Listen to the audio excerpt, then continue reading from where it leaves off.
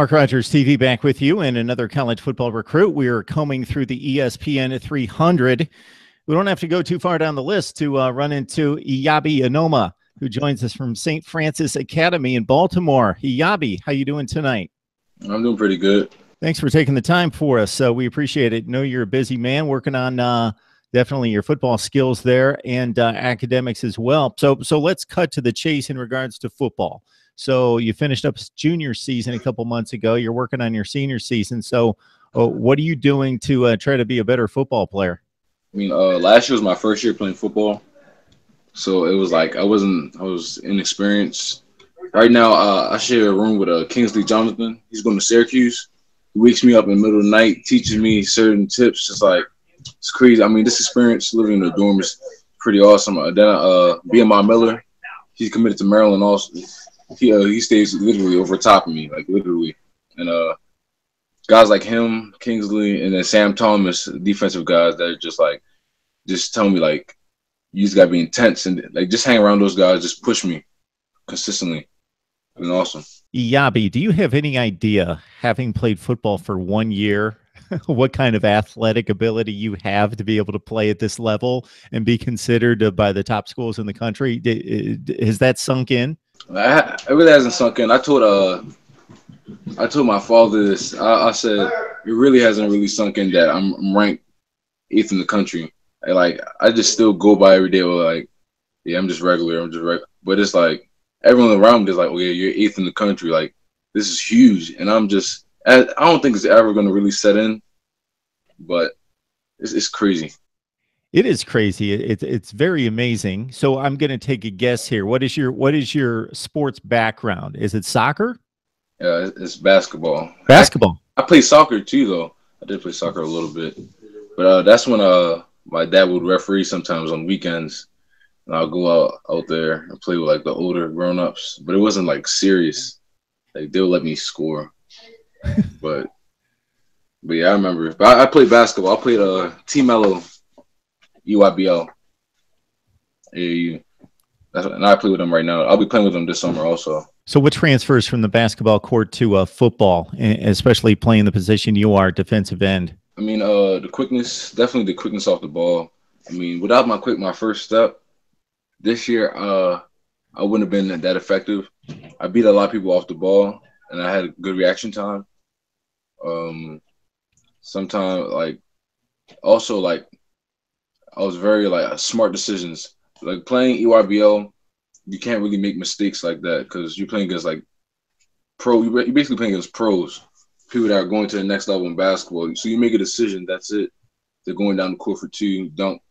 So football on the football field, I learned that like there's certain gambles I can't take. Like let's say my uh, let's say we're running a, a four three, and I have outside containment. I see the inside but I can't I can't take it no matter what because that's my my responsibility is to go out to, to is to contain, not to uh cut inside and make the play. And I, I had to learn to I had to uh, adjust.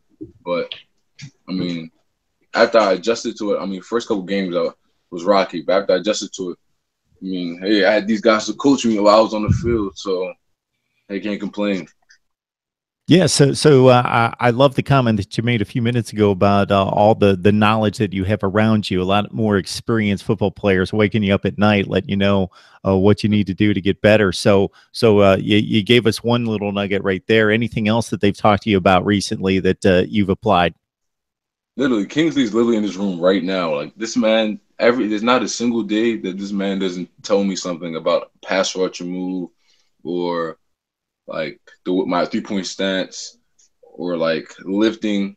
I mean, he he's a like yeah, he's a meathead. Like he really lifts, and I, and so he, it's just certain techniques that he tells me like uh benching. He was just like sometimes you don't have to really drop it all the way down, bring it down slowly, then explode back up. I mean that helps because you exert a lot of energy bringing it down fast. So I mean, staying with him has been tremendous. It's crazy because he knows like him, Sam. I'm telling you, these guys, him, Sam, BMI, Gary. Gary plays offense. He commit to Arizona. He plays offense, but those guys, they know their stuff, and it's just like I'm just so grateful to be around these guys consistently and it, it came to the point that it's not even a team right now. It's it's a family. Like these guys, I consider these guys my brothers. Like any person that can, like he wakes up out of his sleep just to tell me something, just to like benefit me. Like it's more. That's more than just a teammate. That's a brother. Yeah, that's awesome to hear because the first thing that some people might think is, okay, well, these guys are competing against each other. And obviously you are to a certain extent, depending on what positions you're playing, but uh, that you guys banded together that quickly and, and formed a brotherhood to uh, try to help each other and stick together. That's awesome. That is really good stuff. Uh, uh you, you talk about being in the weight room. I got to think that as a soccer and basketball player, sure, there there's some gains you you can make in the weight room, but you don't have to be in the weight room. You, you can play those sports and not be in the weight room. You can't play football at that level and, and not be in the weight room. So you're probably spending a lot more time in the weight room, I would think. Yeah, a lot compared to me being in weight room like past years. Way, way, way more time. I'm talking about like now it's every day in the weight room. Whether my body my body's aching right now from like a day ago when my coach Bird he uh he made me do leg work. I don't like leg work a lot, but I mean I do it, but I don't really like it. But Verb, I mean, like, it's just consistent. It's just like the way it is now. It's just the coaches have us on a like consistent thing. We study hall, lift, and then like at like after school, because we I, I live on the dorm thing. Uh, I'll go over there with Burb and Kingsley and the rest of us in the house, and we'll just go do another lift, whether it's arms or legs. It's up to uh, Verb. Yabi, when you're looking at um, some of some of the offers that you have, and you're thinking about uh, a school to go to, you know, we're focused on football. You guys as football players, but obviously, it's it's a way of life. It's spending three to four years somewhere, maybe even longer. It's uh, academics. It's it's uh, trying to fi- find a fit that you just described there that you have in the dorm with guys that you're going to band together and be brothers with, and finding a coaching staff that you can trust. Uh, what are some of the things that you're looking for in a school?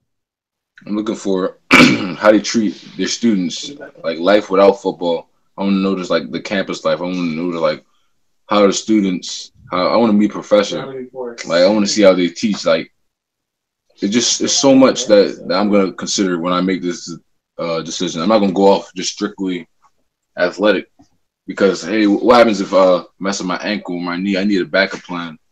So uh, I'm gonna find school also a good law program. Uh, I'm not afraid to go far from home, so it's not. It just all depends on the school, but and then the coaching, like, are they a three four, four three? I mean, it doesn't matter due, due to like how fast I am. I like I'll learn. It just had like I, learn. It doesn't matter to me, but uh, stuff like that. Then also, uh, are, are these coaches gonna really keep their word? Some coaches promise promise you certain things. Well, I don't want to get promised starting time. I don't want that. I want to go there and earn it because I don't want to ever have that chip that oh yeah you were given this. I was never given anything. I wasn't supposed to start this year. I earned my starting spot. I was supposed to play punt. Kingsley, him, Kingsley was supposed to play the defensive end. Kings ended up moving to outside linebacker, and I played the end. So it's like I don't. I was never given anything. I don't want it to start there. I mean, but one thing I do want is my number. I do want number. I'll, I'll earn that. I'll earn number nine. Number number nine. So that's special. Is there a reason? Oh yeah, my uh, grandmother, she passed. She like she liked that number. Uh, and also nine. I just if you turn nine upside down to six, and uh, that's how many sisters I have. Oh wow, six sisters. Yeah. Very cool. Uh, it, it's it's nice to get to uh, know you, Nabi. Uh, Eyabi Anoma, eighth rated player according to ESPN. Uh, what are the coaches saying in regards to why you're rated so high? What what do you bring to the table that's so special? I mean, I had 24 sacks. I had four sacks against IMG. I mean, they're just saying they see a whole bunch of potential they're seeing how I can move, I can adjust. I'm not afraid to hit.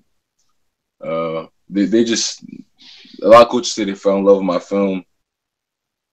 I mean, I think mostly, my opinion, I think what the coaches really see is just that, like how quick I am to learn. If you hear, if you like hear the background of like how I even like started playing football and the whole thing, it's just crazy that all this can just be jumbled up into one year, not even a whole year all this into like a couple months, and then like I'm here, eight player in the country. Like, I think a lot of coaches are surprised about that, and that's what's really pulling their eye definitely based on what you just described, uh, putting academics first. Uh, that that speaks to your intelligence and being able to, like you say, uh, it's one thing to be book smart, and that's great, and that helps in certain areas. But you're obviously uh, smart on your feet on the field and be able to apply all the, game has to offer in one year and to be able to be that productive is is crazy and speaks beyond athleticism to be able to retain uh, schemes and, and, read an offense and, and, and read the plays is, is pretty amazing. Right. All right. Uh, any thoughts in regards to when you're going to make a decision? You obviously have 11 months to, to make that call. Do you have a list right now? No actually uh the crazy thing about it is that I talked over with my uh my parents. I mean, I play around with Kingsley. I mentioned a random school every night just to see his opinion. Uh, I talked to uh, girl Jewel, and it's like I think I'm gonna wait to my last is uh, to the last day to commit. I'm not gonna commit at the uh, normal American game. I'm commit that. I'm gonna wait the last day. I just think I want to think, make sure this is the, the school this is more. This is like one of the biggest. No, this is the biggest decision of my life at this moment, and uh, you don't get a second chance at this, and so that's why I want to think this all the way through. My parents, we're going to we're going to take all the visits. I'm not going to skip a visit. Uh, and yeah, at the end of the uh, signing day, I make my decision. I won't make a decision. I won't cut no school off because you never know. Coaching changes. I learned this. It's a funny story. I learned this like firsthand. I saw it. Gary uh, Gary Brightwell committed to Temple. Temple coaches changed, went to Baylor. Gary decommitted from Temple and went to uh, Arizona. So it's like you never know what the coaching change. So I don't never you don't never want to commit early. Coaches end up changing when something happens, and now you're now they you might still have the offer, but you don't know if the person there is he's as, as like he wants you to the same degree as the other uh, coaches did. So I'm gonna wait. I can't imagine at this point, uh, based on how you're rated and, and based on your production, that any coach is not going to want you as much as the other coach. But definitely, that's that's part of the equation. And uh, we all know that once the last game's played in the regular season for any year, that a lot of coaches are let go. Yeah, and, and you see that transition made at the end of uh, every college football season. Eyabi Anoma. So remember the name weak side defensive end, one of the top eight players in the country, according to ESPN. Eyabi, uh, we know that you have a lot going on, so I appreciate you taking the time to talk to us. Yeah, anytime. Have a good night. You too.